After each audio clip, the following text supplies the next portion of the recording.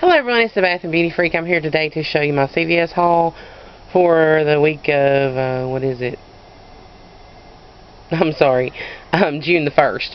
Um, I only did one transaction this week. There just wasn't a whole lot going on, in my opinion. Um, but I did get a few things. Well, I mean, there was a, some some people were able to get better deals depending on what kind of coupons they had from the red box and there were some other deals that I weren't wasn't able to get because I didn't get the Smart Source this week. My newspaper, my local newspaper, um, quit carrying the Smart Source a while back, and I've been getting another town over's newspaper, but I guess they're having problems with their carriers here because some weeks the stores have them, and some weeks they say they don't, they didn't get a delivery. So I don't know. But anyway, let me get on in with the haul. I'm sorry. Um, what I got, um, I got three of the all detergents, which are on sale this week for $3.99. And everything I got was part of the spend 30 get 10 back 10 $10 gas card. Um, like I said, the all was $3.99. I had a $2 off of two and a $1 off of one, making these like $2.99. Um, and then on the Physicians Formula, I got the Physicians Formula um, Nude Wear. It's the glowing uh, nude powder.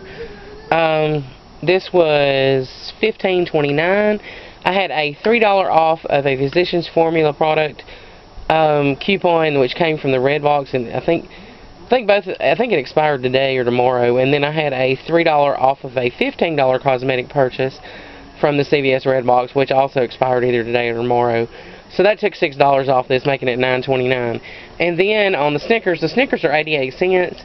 And um, I had three um, coupons for a free, well one was a free Snickers and then two were just uh, free Mars candy bars, um, which I have gotten from Facebook giveaways, uh, the instant wins on Facebook, and I'd save those because I figured, I don't know, I always try to hang on to them in case I need them to boost a total or whatever, um, or CVS, so these came in handy because they were part of the promotion this week, and, you know, that helped me out also.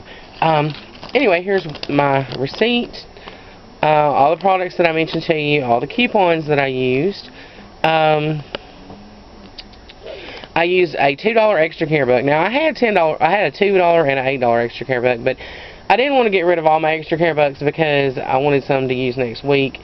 And um, because you didn't get any extra care bucks back on this deal, you just got a gas card. Um, anyway, I used a $2 one, and I paid 16.26. Well, with tax, it was 18.96 or yeah, 18.95. 18.95 and I got a $10 gas card back, um, which would make it like 8.95. But I'll also be getting a $5 Beauty Club buck back, um, which kind of helps because I used a $2, but I'm going to get a $5 back. So if you count that, I'm gaining $3 in extra care bucks, so if you count that, it's really like I paid $5.95 for everything. These would have already been free, so I'm kind of counting it like $5.95 for the detergents and the Physicians Formula, so roughly, you know, that's like a $1.50 a piece. You get, just can't beat that.